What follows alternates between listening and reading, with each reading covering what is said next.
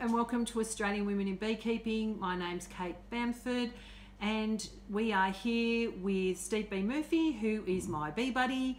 And I've known Steve for, for about four years. I met him on LinkedIn, something to do with bees. Steve and I were talking about it before, we can't remember.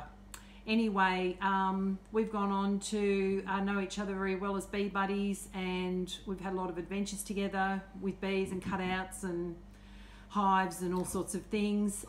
A lot. It's been great fun, and yep, continue to have a lot of fun.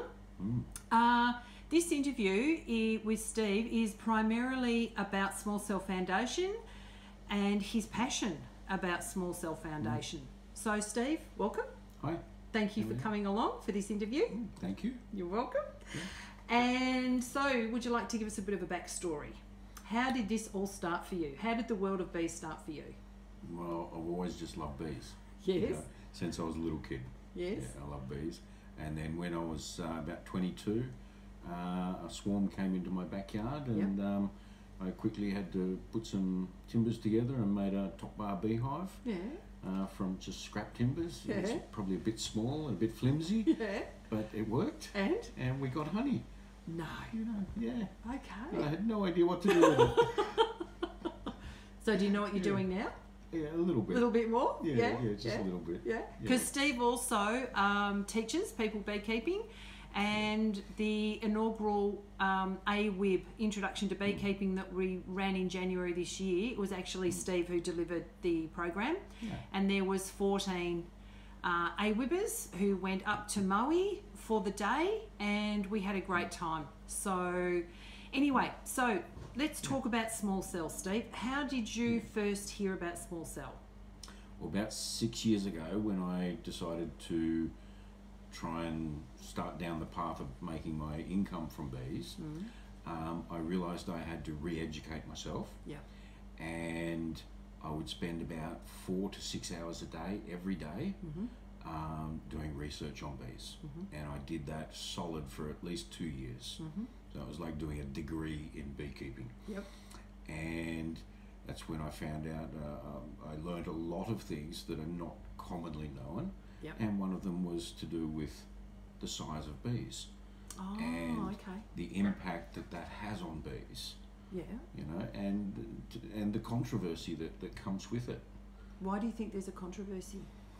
because one of the, the, the department in America, their primary reason right at the beginning for for not wanting anyone to downsize their bees was because then they would be the same size as Africanized bees.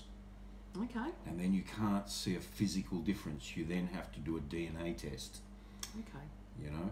Um, and so the D- DPI in America, when they were first given scientific papers about this, A, they never published the papers, Mm-hmm. and B, they the people who had submitted those papers, who were employees at the time, um, were summarily removed from the department. So who who was where did this Okay. small cell come from? Who was the And so- person that was pioneering this? So the person that, that I found who's been the main pioneer in Mm. the world is Dee Lusby. Okay, and she's Okay. based in She's in uh, America. yep, and she's Yeah. an established beekeeper. Oh yeah, she comes. She's like a sixth generation beekeeper, Ah, okay. originating from Germany. Oh, okay, Yeah. So she's not a person without knowledge. okay. Yeah. So do you know where she got the small cell foundation concept from? She was uh, she when tracheal mites first came into America. Yeah. They came into America, I think about three years or four years before varroa mites did. And she looked around the world and went, well, other bees that are a bit smaller don't have a problem with tracheal mites. Mm. So she did an experiment and she downsized her bees to initially five, uh, 5.1 mil Because The- what's the standard cell size here in Australia? is 5.4. Right. Although recently here in Victoria, the main supplier of Foundation has upped their size to 5.6. And is there any reason for that that you're aware of? They didn't know that that was their size Okay. until I informed them. Okay. So going back down, what's what's a, a standard cell size for a So- small cell? Generally standard around the world since about the 1950s Yeah. uh, is 5.4. Prior to the 1950s, um, a whole range of sizes, including small cell, Yeah. were available. Okay. But uh, after after World War Two, um, all of the older beekeepers and the older equipment and the older equipment manufacturers Yeah. All disappeared. And for some reason, then we were left only with 5.4, Okay. and that became pretty much the worldwide standard. So that's the standard. So that's the that's the standard that um, the majority of beekeepers un- understand to be traditional Yeah. cell size. Yeah, that's what beekeepers today would call standard cell Yep. size. Okay. Okay. Okay. So if you're above that or below that, then you're you're outside the standard. Okay. Okay. See, people used to in the past always used a different size in their brood chamber Yeah. to their honey chamber. Okay. You know, and comb people who would make comb honey would use a uh, a five point seven or five point eight mil Hmm. for making comb honey because people like this, the look of the larger cells. So do In you honey. do you think that cell size is to do with satisfying the consumer? Has there been that been an influence? Only in comb honey. Yeah. and only in the past. Um, today, th- that's hardly ever done. So why? What's the uh, the advantages of five point four then? Why was Um, why why did five point four become the norm? Well, be, mostly because of one particular guy in the past Yeah. who liked the larger bees, um, and he was a Frenchman. He was very a good orator, and he was very good at promoting himself and what he liked. You know, and so five point four um, ended up being the standard, but it ended up that way also because the manufacturers of equipment changed. So the people who were making the equipment for, for small cell, uh, they had switched production during the wartime and they never went back to it. Oh, So that was lost. And the only people who were making equipment were people who were making 5.4. okay. And this is post-war. This is Post-World War post-war, Two? yeah. World War Two. So by default, we ended up with 5.4 as being Ah. the standard. Okay. Okay. You know? So then, if someone's interested in Small Cell Foundation, what's the benefits as far as you're concerned and your experience of um, small cell? One, uh, generally better disease control Mm-hmm. overall.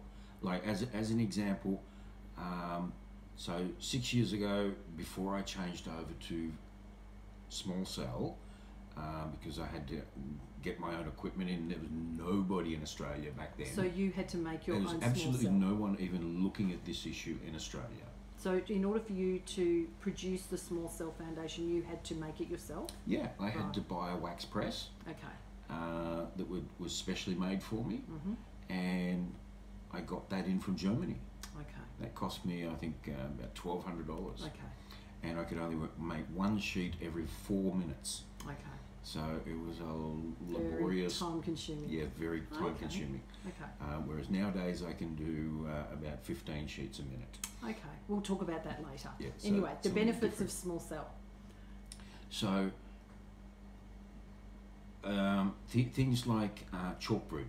Mm-hmm. which currently there was uh, there's been uh, talk by uh, Jody Gerdts Mhm. as an example, who says that chalk brood has increased in its abundance in Australia Mm-hmm. uh, over the last five or ten years, Mm-hmm. and if I was still on large cell, I might even agree with her.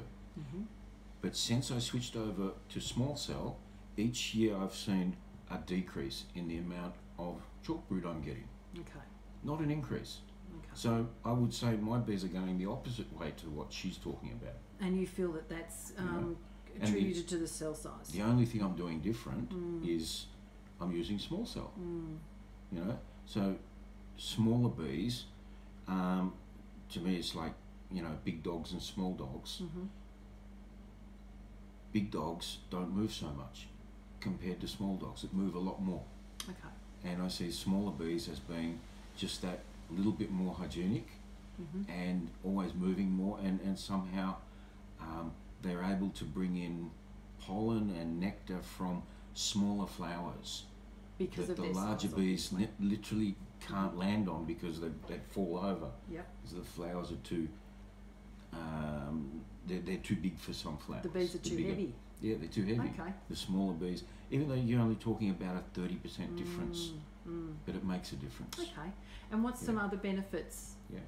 Um, another benefit, uh, this, this applies particularly to people who live in areas of high humidity, Yep. Is if you have smaller cells and smaller bees, they, and, and I don't have any scientific proof of this, there are um, a n- number of beekeepers I know that did their own personal studies Mhm. and they found this to be true, but it needs to be researched a little more, is they remove more moisture from the honey. Hmm. So if you're in an area where there's high humidity and there's a danger that bees will put away honey that has too much moisture, um, going to small cell uh, can be a benefit because they're less likely to put away honey that's got too much moisture. Okay. Yeah. And what about the um, hatching times? Uh, they Is there any difference? generally uh, 24 to 48 hours earlier. Okay. Now, um, And that there being is a benefit for what reason? now when it comes to varroa mites, it has a, a, a small impact on the varroa mites. Um, the studies done on varroa mites have looked at only, and, and this applies nearly to 90% of the studies done in America, where they look only at one issue, and that is the number of mites in the beehive Mm-hmm. and they've found, and most of the studies um, only go for six months to uh, like a maximum 18 months, And you don't feel that's long enough? not nearly long enough. Because the first two major studies that were done Yeah. both went for five years, Ah, okay. and one was done in Spain and the other was done in Africa. Mm-hmm. This has not been replicated in Okay. America or Europe Okay. or Australia, Okay. but we don't have varroa mites here. No. Um, and what they found is that the two original studies that were done, um, they said, look, it's not the complete answer, but it certainly showed that there was a benefit Okay. in helping the bees survive. Okay. Because the, the, the issue with varroa mites is not how many mites there are in the box, although a scientist might think that's important. Actually, the only thing that's important is do they survive? Mm. And Because there's been that new research recently, hasn't there, by that um, PhD student, wasn't it? Dr. Bugs. Yes, in Yeah. America. Yeah. Who showed them attaching under He- on he the showed- plates. He sh- e prior to his research, Mm. everyone believed that varroa mites sucked on the Mm. hemolymph of bees, Mm. which is the, the blood of bees. Mm. But he was able to categor- categorically prove Mm. that the mites actually feed on the fat tissue of bees. And the fat tissue is where bees store all of their um, antibiotics and, and their resistance. The queen stores this, her resistance to various things in that fat tissue. Okay. So if that fat tissue becomes damaged, Mm. Yes, it can it damages the bees. Okay. And when you see a mite standing on top of a bee, that's a mite looking for a ride off a bee that's damaged. Yes. Because Yes. otherwise they live underneath the bee, inside the uh, the platelets, Yeah. and you can almost hardly see them. Yes. Yeah. Yeah. No, it's a it's a Yeah. very worthwhile Yeah. um, uh, interview. That one that he's Yeah. done on the variety. So, if people are interested, so um, uh, So- say for example, With sorry. one of the reasons Yeah. we're here, of course, is Yeah. because there was a little bit of controversy over some uh, uh, people that were sold foundation that were not given any Yeah. information. Yeah. You know, That would appear that and way. yeah, and they were not made to or uh, they, to allow them to understand Yeah. the process of when you change the cell size in a beehive, whether you're going up in a size, Uh, if you go, if you change the cell size by more than 0.2 of a mil, Mm-hmm. then the bees have to go through a transition process Okay. where they transition from one size to the other. Mhm. And until you get enough bees of the new size in your beehive, the older bees will tend to want to build at their what they were previously making. Now, is that because of their head size? Generally, it's because they want to build according to their head yeah. size. Yeah. So if you're going to change from larger bees down to smaller bees, those larger bees will rearrange some of those smaller cells. Right. So one way around that is to use full depth plastic foundation.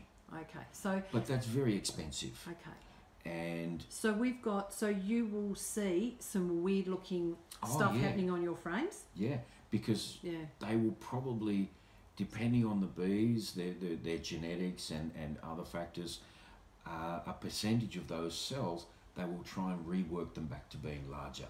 Okay. So. So it's perf- so for example, um, I decide that I'm going to put my girls onto small cell, and I do. Yep. And then I go in and do an inspection, and I start to see some very strange patterns. It's normal. Okay, and um, how long am I going to expect to see it looking very strange? Well, what you will need to do is you, you have to let the bees breed in that for a period of time. Then you move that out, put some more foundation in, and within a number of generations, Yep. you can do it in one season. Most people do it over two or three seasons. Okay. You will transition all the bees down to being smaller. Once Okay. once you've got more than ninety percent of the bees being smaller, you will no longer have an issue, and all of the comb will be drawn out as normal. Equal. Yeah. Okay, because I'm on small cell foundation. I've Yeah. been on small cell foundation for how many? It's it's a Mm. long time now with At you. least three or four It's years. got to be. It's got to be. I think about Yeah. four years. So, and this, and I, I, when I go and inspect my frames, they look exactly. Everything's uniform. All the cells are uniform. Okay, and that's I can say that categorically. Um, and and with this um, concern being raised recently about the uh, look of the frame being um, I do have a photo that I will um, post up with this video showing what Steve and I are talking about. But it does look really odd. You get big cells, small cells, nothing's the the rhythm of cell making goes into a bit of chaos for a while. That's how I would describe it. Yeah. But the girls are okay. They are mm. fine. They are going to keep working mm. it. It, it they will transition. It's a transition period. Mm. And then what happens now for me is when I look at my frames, they, they would look like a 5.4, you know, all perfect. So, and the girls are fine. Um, even with swarms that I, uh, or cutouts or anything that, Yeah. that yeah, Some some swarms will go straight to small cell Yeah. without a problem. yeah, Some won't. okay. It I've all- all not had any depends. trouble. It all depends on um, if they came out of a box that was say 5.6 mil. Oh, okay. then that's very big, and you're Mm. asking the bees to make a really big change, Yeah. and so that becomes a little harder. Yeah. So these companies that are now selling 5.6 mil foundation, um, when a person transitions to 4.9, that's a massive Mm, jump. mm. So if you make an active choice to say, I want to downsize my bees, but you don't want some of this transition happening, Mm. or you want to minimize the amount of transition, you might actually have to do it in one in a couple of steps. If you can get it, maybe you can go down to 5.1 mil first. Where are you going to source all this? I'm we're not- talking about we're talking about general Yep, hobby beekeepers and look even Yep. commercial. You know, um, you can get 4.9. hmm, There's uh, myself in Victoria. There's a there's someone in New South Wales, and there's someone in Queensland. Um, I have no idea about Western Australia or South Australia uh, or Northern Territory, but at least on the east coast, uh, small cell is available. As to 5.1 or 5.2, I don't know of anybody. Yeah. You know. but it's not. You're not going to. There's no actual harm to your girls no, it does not. by going from 5.4 generally yeah, from from going straight from a into larger a small cell. from, You, from larger to smaller. There's no actual harm, but you will get yeah, a number of frames for a period of time yeah, the crazy look. that will Yeah. not be uniform. And that's okay. And I think that's probably the biggest message that we would like to put across here with this interview Yeah. is that it's okay. It's all right. Your girls are fine. They're just adapting. And then they will adapt. And before you know it, you've got perfectly drawn out Yeah. that's, that's in small cell, small cell size. So, and you've got little, you've got smaller bees. And it's quite obviously they're, they're Yeah. significantly smaller. Yeah. Yeah. It, it, it is a, a shame though that it became like when you first told me Mm. uh, this issue had come up. Mm. Um, I was a little surprised because most people who transition onto small cell they make an active choice. yeah.